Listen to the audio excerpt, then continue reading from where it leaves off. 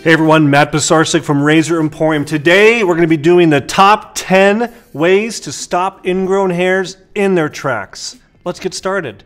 Tip number one grain map. I know it sounds redundant if you've been in this hobby for a while, but you've got to look at your, your the, direction of the grain on your hair.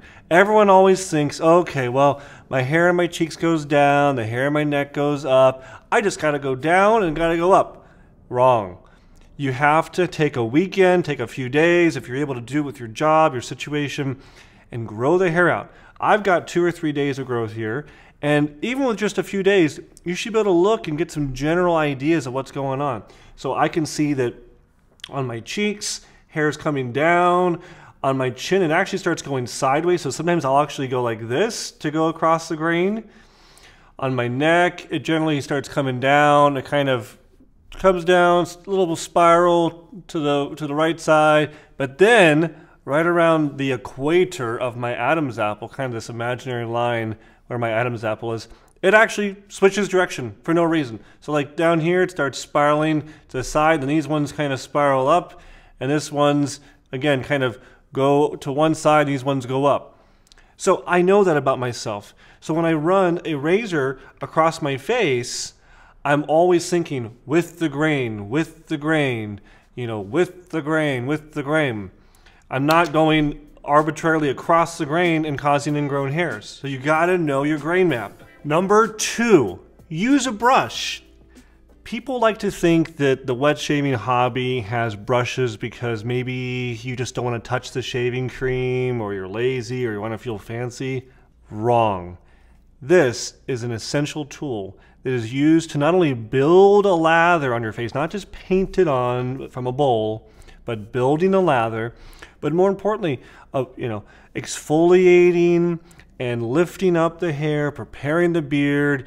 And if you have a boar brush like this guy, the boar bristles are stiffer, they're more scrubby feeling, and the ends actually have like a little hook to it. And after repeated use, you'll see them even split and turn into two hooks. And those little hooks do a fantastic job at grabbing and digging out ingrown hair. So if you have little hairs that like to lay flat against your skin or start working their way in, as you bring the brush around, it'll actually lift those hairs up and you can come by with your razor and shave them down. Use a brush. Number three, cold water. I know that this may sound like a shock to some people. There's nothing wrong with taking a, a lovely hot shower, and hot showers feel fantastic, and shaving with hot water and, and hot shaving cream feels fantastic. But if you're someone who suffers from ingrown hairs, at least give it a shot. Don't say, I need another brush, I need a new soap, I need a new razor, I need all this stuff. Just try the free thing in your bathroom the cold water. Turn on the cold spigot, really work it work your face, really bring the water up, splash it, and, and then make your lather with the cold water. You're gonna find that when the skin gets cold, it's taut. When it's taut, the hairs actually want to stand up better. It's almost like when you get goosebumps. And when you come by with your razor, you'll have a much more comfortable shave. You're less likely to get uh, the skin to pull and stretch and have the hair go back underneath the skin level and cause an ingrown hair. And it feels refreshing. When you're all done and your and your skin returns to room temperature, you're going to feel even even closer than you thought. So just do one pass, cold water, and you'll go up and say, "Oh man, that's feeling great." Number four, preparation. If you're not already using a pre-shave, consider getting one.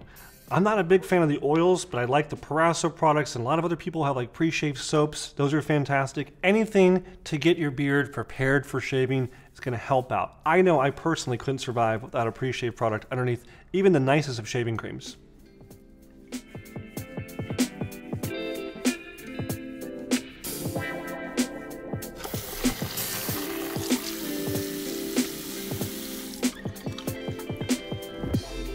Don't just paint your lather on. I see all these guys, they, they want to get the fancy bowl and they'll spend five minutes whipping up this beautiful, lovely whipped cream consistency shaving cream. And then, oh, I'm ready to go. No, you're not. Spend all that time on your face. Use a brush, really work it, get lots of water, hydrate, Lather, lather, lather, scrub, scrub, scrub, scrub, scrub. I always do lots of circular motions, lots of, you know, big scrubbing motions. At the end, I may kind of go up. I like to kind of go up to kind of just make sure the hairs as you know, the, the, shaving cream is up underneath the hair as much as possible.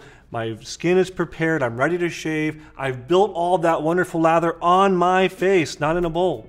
Number five, shave after a shower. So I always complain that when I shave here on the film set, it's no fun. My skin's not ready to go, and I have to, you know, always have pre-shave product and lots of prep time. But if you're at home or in the hotel room or at the gym or whatever, take a shower, warm shower use the washcloth, really scrub around your face, make sure everything's prepared, nice steaming hot shower.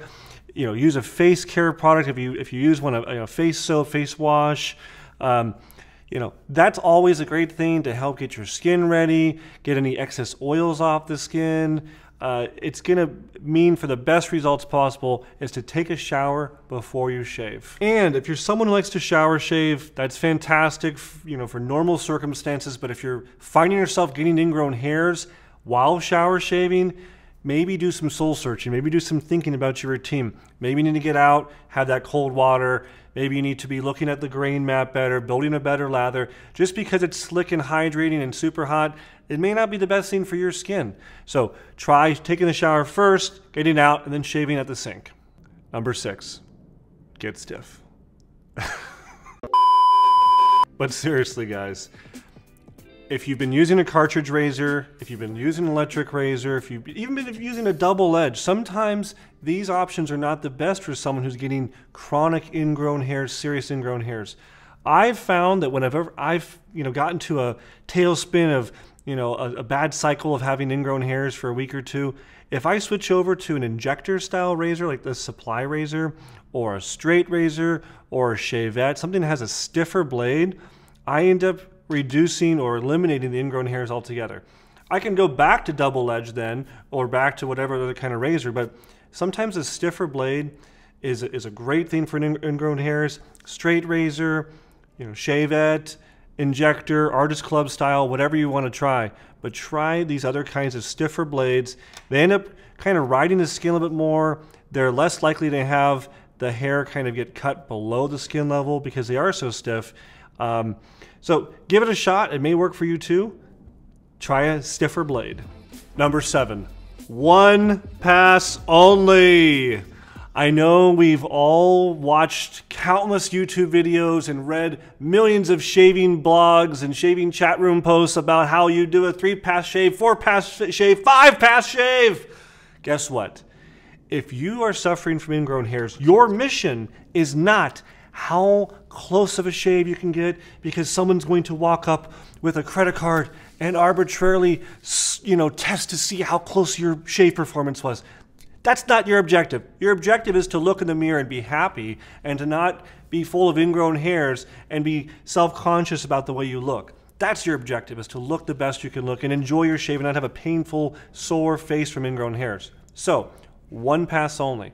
And that means with the grain. So for me, again, we talked about grain map, down on my cheeks, up on my lower neck, kind of across on my mid neck. So figure out what with the grain means for you and stick to one pass. Don't try to go for the BBS. Go for the DFS, damn fine shave.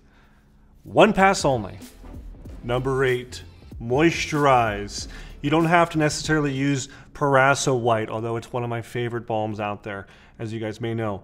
But try switching away from the alcohol-based splashes eh, or things that have menthol in it and try using something that's more of a lotion, a balm, something that has a lot of nutrients for your skin. It's going to make your skin feel more supple. It's going to help promote any healing on your skin.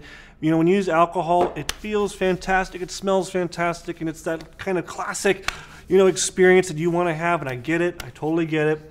But if you're someone who's got ingrown hairs, that alcohol can actually dry your skin out, cause it to contract, and kind of you know, exacerbate the situation that you're already in with ingrown hair. So try moisturizing, try it for a week, 10 days, and see if it does not help improve your situation. Moisturize. Number nine, frequency.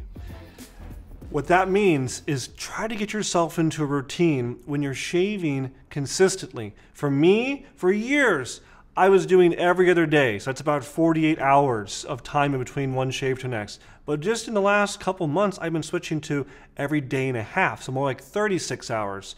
So one day it's going to be in the morning, the next day it's going to be at night, and it just keeps on alternating. And for me, that's been even more fantastic than every other day.